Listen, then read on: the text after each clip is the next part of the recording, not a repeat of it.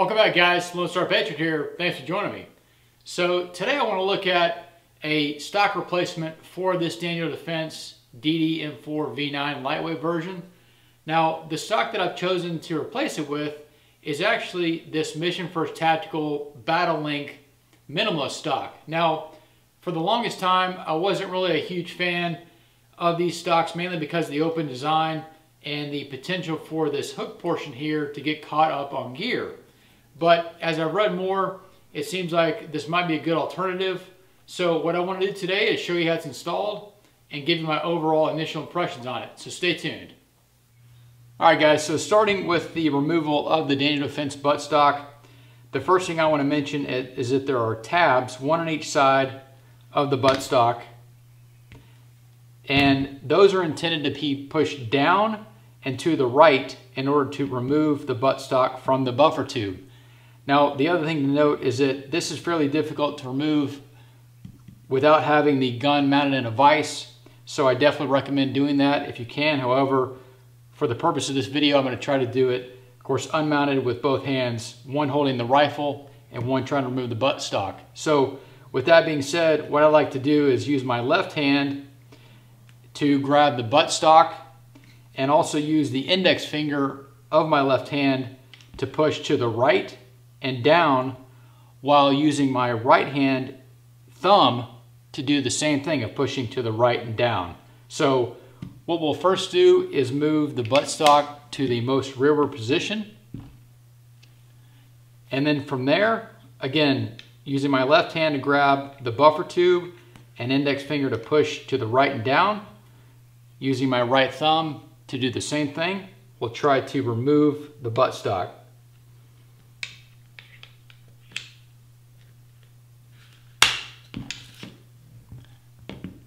And it comes right off.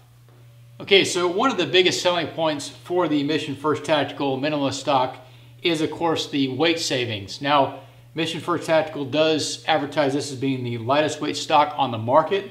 And on the packaging, it does indicate a total weight of 5.8 ounces, so we'll check that. And I want to do a comparison with the Daniel Defense. So I have a basic kitchen scale here, and we'll first weigh the Daniel Defense. And that comes in at 8.95 ounces. And now for the MFT. That comes in at 5.99 ounces. So I don't quite get the 5.8 ounces, at least on my scale. But again, it could be a tolerance in the scale. It could also be a manufacturing tolerance with the stock itself, but within very close tolerance of what is advertised. Now, that equates to approximately a three ounce difference between the Daniel Defense and the MFT. Now, depending on your scenario, whether you're patrolling or just wanting to build a lightweight rifle for your own use, the three ounce difference can certainly add up pretty quickly. Okay, so I want to take a look at how you determine whether your buffer tube on your rifle is either a commercial tube or if it's a mil-spec tube. Now, I know on my Daniel Defense that this is a mil-spec tube, so we'll confirm that, but there are two primary ways to verify if your buffer tube is mil-spec versus commercial. The first being the end angle here of the buffer tube to the top of the buffer tube. So in this case, the, the mil-spec will be exactly perpendicular from the end of the tube to the top of the tube, which is how mine is. And knowing it's a mil-spec, that confirms it. Now on a commercial buffer tube, the end angle here will be five degrees off from vertical compared to the top of the buffer tube. Now, if you're not able to tell the angle here very easily, you can also compare the outside diameter of the buffer tube. So on a mil-spec buffer tube, the OD should be 1.148 inches. However, on a commercial tube, that should be 1.168 inches. So the commercial version is slightly larger in diameter versus the mil-spec. Now, to confirm that, I have a set of calipers that we'll use to check that.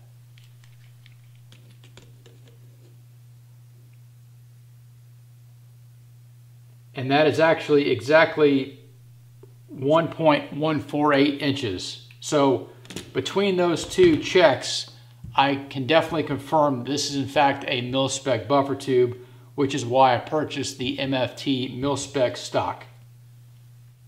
Okay, so getting started with the installation of the new MFT stock onto the buffer tube, the first thing I want to mention is that there is a spring-loaded pin here that protrudes out from each side of the stock, and that has to be fully depressed downward in order to slide the stock onto the buffer tube. So I'll try to show you that pin here. And on the other side,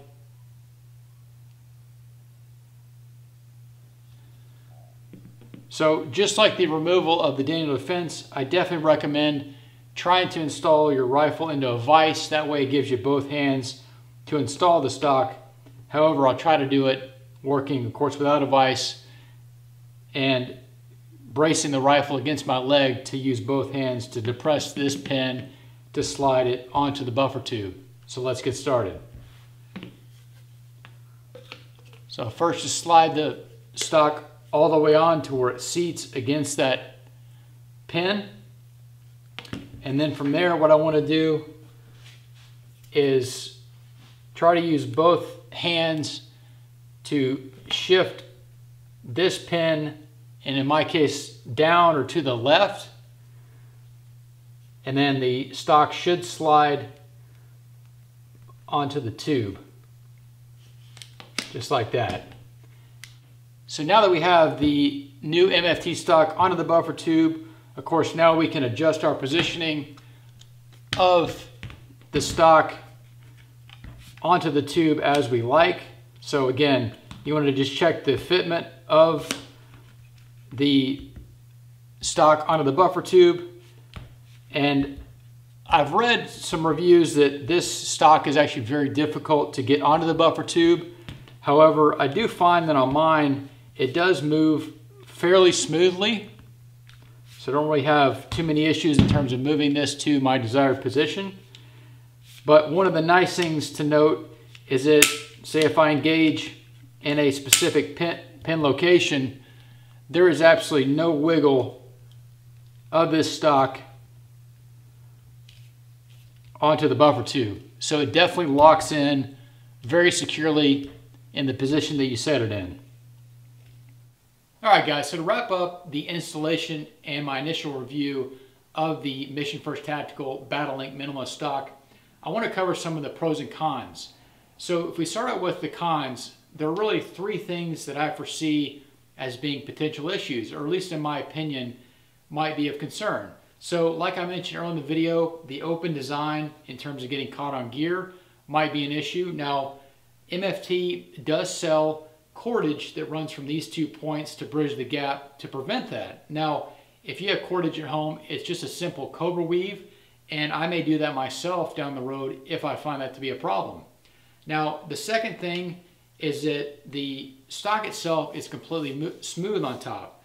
Now, compared to the Daniel Defense, the Daniel Defense does have a texture, a rubberized texture on top of the stock, which I've found gave me a, an aggressive cheek weld or a positive purchase whenever I was using the rifle, which I did like. Now, in the event of, say, using this in rain, maybe sweat, blood, for example, it might be a smoother surface to where I don't have as good of a cheek weld as, say, on the Daniel Defense.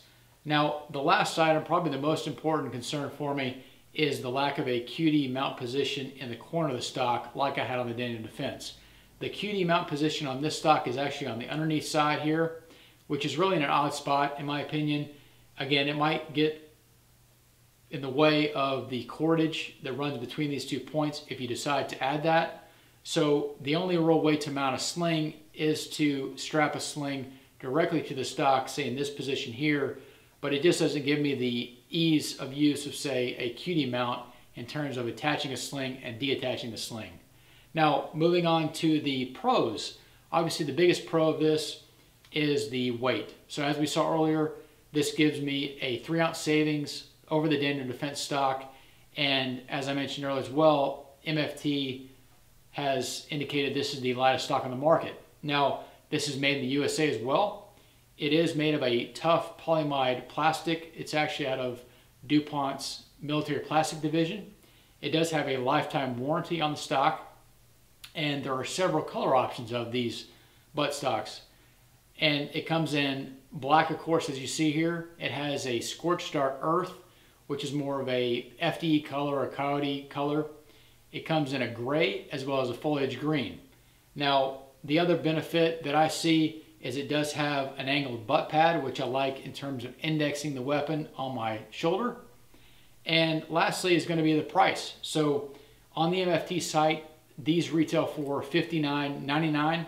However, I've found that you can find these a lot of times for less than $50. Actually, I bought this from jet.com for just over $30, which in my opinion is a great deal for the benefits of this particular stock. So you can fi find these inexpensively compared to a lot of the other aftermarket stocks out, out there. So hope this gives you another option to consider. But thanks for watching, thanks for subscribing, and keep up the good fight.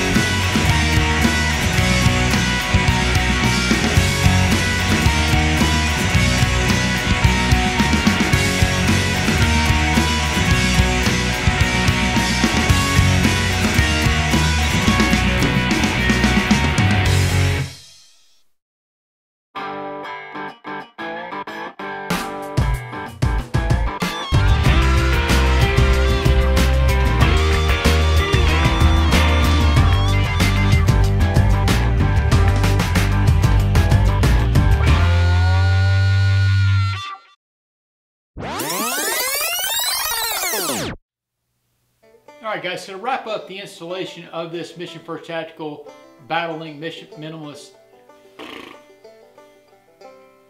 the stock onto the buffer tube. So the first thing we'll do is